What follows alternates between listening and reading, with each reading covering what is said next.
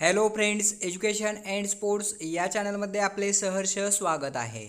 आजच्या या व्हिडिओमध्ये आपण माहिती पाहणार आहोत एक जाहिरात प्रसिद्ध झालेले वर्ग तीन आणि वर्ग चारच्या पदांकरिता मुंबई आणि पुणे हे जॉब लोकेशन असणारी ही जाहिरात असून विविध पदांकरता ही जाहिरात प्रसिद्ध झालेली आहे. या जाहिरातीची सविस्तररित्या माहिती या व्हिडिओमध्ये घेणार आहोत. त्या अगोदर एज्युकेशन अँड स्पोर्ट्स या चॅनलवरती तुम्ही नवीन असाल आणि अद्याप चॅनलला सबस्क्राईब केलं नसेल तर खाली लाल ऑप्शन दिसत असेल त्याला एकदा सबस्क्राईब करायला विसरू नका. पाहूया.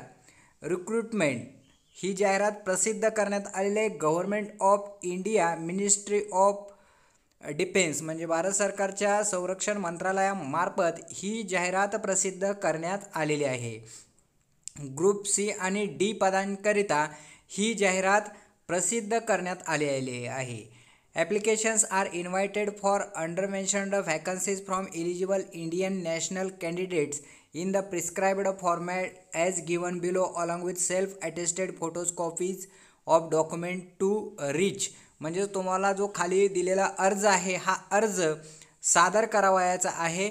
अटेस्टेड कॉपीसहित तुमच्या फोटोसह फॉर्मचा नमुनासुद्धा आपण पुढे पाहणार आहोत. आणि हा पाठवण्याचा जो पत्ता दिलेला आहे पहा officers commanding F O L department Kirkee opposite Khadki railway station near range hills pin code दिलेला आहे four one one zero two zero Maharashtra. असा हा फॉर्म या ॲड्रेसवरती तुम्हाला स्पीड पोस्ट किंवा ऑर्डिनरी पोस्टच्या साह्याने एकवीस दिवसाच्या आत सादर करावयाचा आहे. जाहिरात प्रसिद्ध झाल्यापासून एकवीस दिवसाच्या आत तुम्हाला हा अर्ज सादर करावा लागणार आहे. कोणकोणती पदं आहेत पाहूया. आणि त्यासाठी सातव्या वेतन आयोगानुसार किती पगार असणार आहे हे सुद्धा या ठिकाणी पाहूया. आणि जॉब लोकेशन कुठं असणार आहे याची सुद्धा माहिती आपल्याला या ठिकाणी मिळणार आहे. पहिलं पद आहे मजदूर पद आहे पहा. लेवल एक अठरा हजार रुपये इतकं वेतन असणार आहे. यासाठी पदं कोणती आहेत पहा. अनरिझर्व तीन आहेत. एस टीसाठी एक ओ बी सीसाठी एक अशी पाच पदं मजदूरसाठी आहे. ग्रुप डीमधलं हे पद आहे. यानंतर दुसरं जे प आणि याचं जॉब लोकेशन जे असणार आहे ते पुणे या ठिकाणी असणार आहे. त्यानंतर दुसरं पद जे आहे ते दुसरं पद आहे पहा चौकीदार.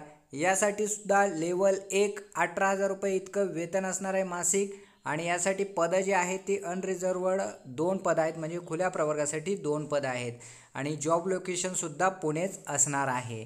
यानंतर पुढील पद मजदूर आहे लेवल एकचंच अठरा हजार इतकं वेतन असणार आहे. यासाठी यू आर एक ओ बी सी एक.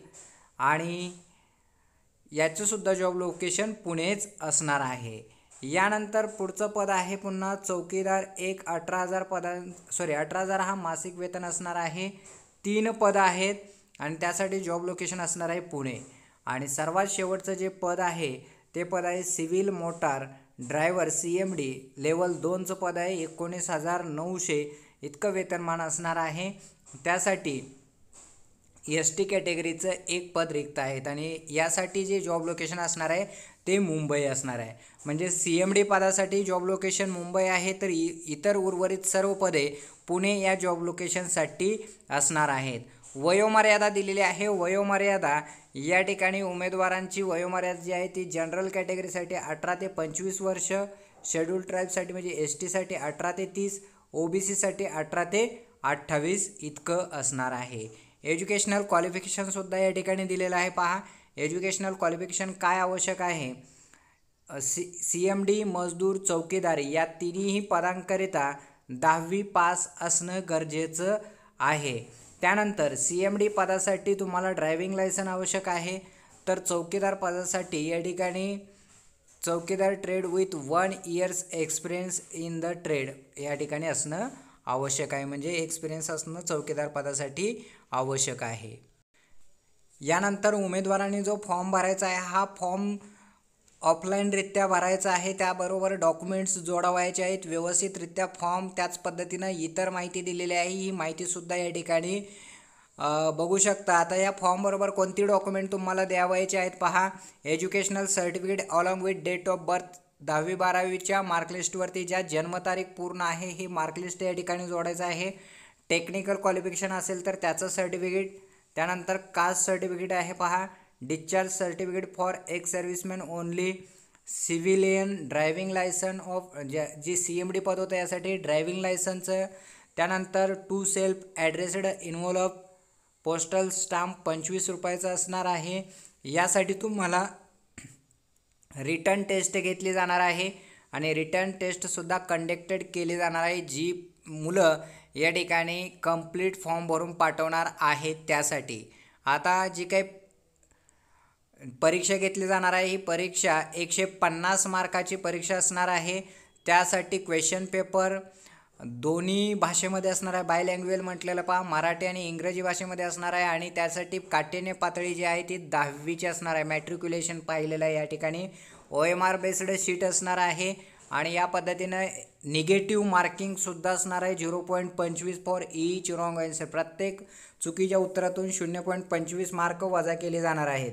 आणि या ठिकाणी सिलेबस दिलेला आहे पहा. जनरल इंटेलिजन्स अँड रिझनिंग पंचवीस मार्क न्यूमरिकल ॲप्टिट्यूड पंचवीस मार्क जनरल इंग्लिश पन्नास मार्क त्यानंतर जनरल अवेअरनेस पन्नास मार्क अशा ही दीडशे गुणांची या ठिकाणी परीक्षा घेतली जाणार आहेत. त्याच पद्धतीनं रिटर्न टेस्ट जी काही होईल त्यातून फिजिकल टेस्ट किंवा स्किल टेस्टसाठी उमेदवारांना बोलवलं जाणार आहे. त्याचबरोबर इतर माहितीसुद्धा या ठिकाणी दिलेली आहे. पहा ही माहिती तुम्ही काळजीपूर्वक वाचू शकता आणि पाहूसुद्धा शक फॉर्म सबमिट करत असताना तुम्हाला सर्व झेरॉक्स प्रती द्यायचे आहेत. कोणत्याही प्रकारचं ओरिजिनल डॉक्युमेंट या ठिकाणी द्यायचं नाही. असं या ठिकाणी सांगितलं. No original certificate should company the application. अशा पद्धतीने या सर्व सूचना वाचून तुम्ही ॲप्लाय करायला विसरू नका.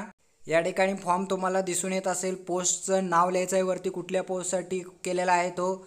त्यानंतर या ठिकाणी कॅटेगरी दिलेली आहे. Category name of candidate signature candidate thumb impression of candidate Aadhaar card number corresponding address your application is here by accepted index number return trade टेस्टसुद्धा या ठिकाणी द्यावायचे आहे. त्यासाठी सुद्धा पुणे हे दिनांक पुणे हे लोकेशन असणार आहे.